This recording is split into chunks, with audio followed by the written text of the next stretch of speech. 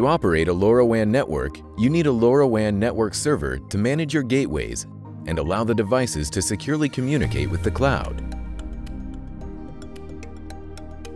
It is at the heart of every LoRaWAN network. The network server's main responsibility is assuring the security, data routing, and battery optimization of the LoRaWAN nodes. The Things Industries LoRaWAN stack is built up of multiple loosely coupled components to maximize flexibility and scalability. The stack is compliant with all versions of the LoRaWAN specifications and all the official frequency plans.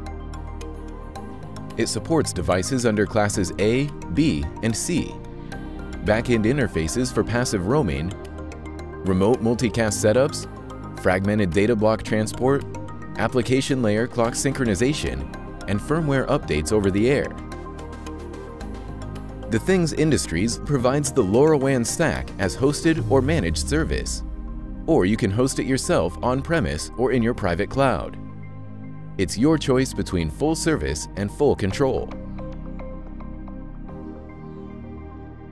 The core components of the stack are the gateway server, the network server, the join server, the application server, the identity server.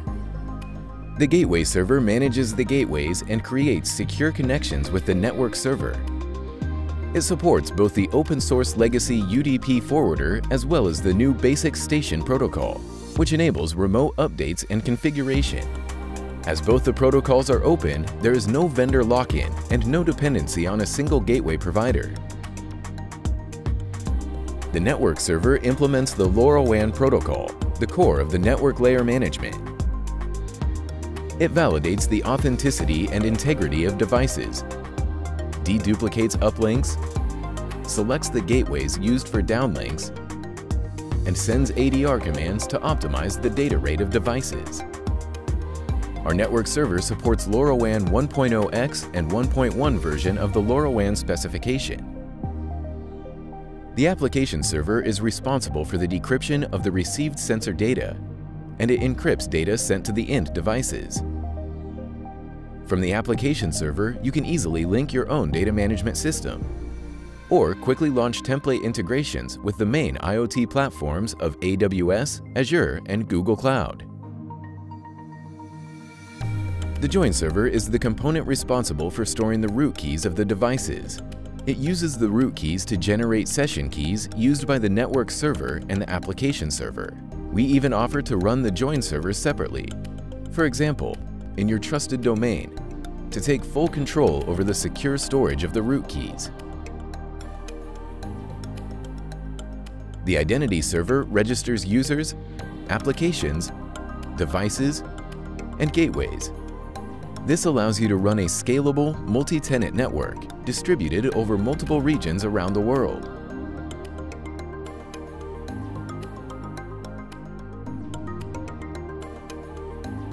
the LoRaWAN stack is connected to the packet broker.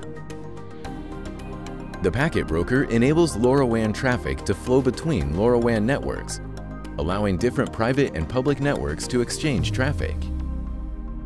This peering between networks can be done at the click of a button, granting you access to many other LoRaWAN networks in the world, including the Things network.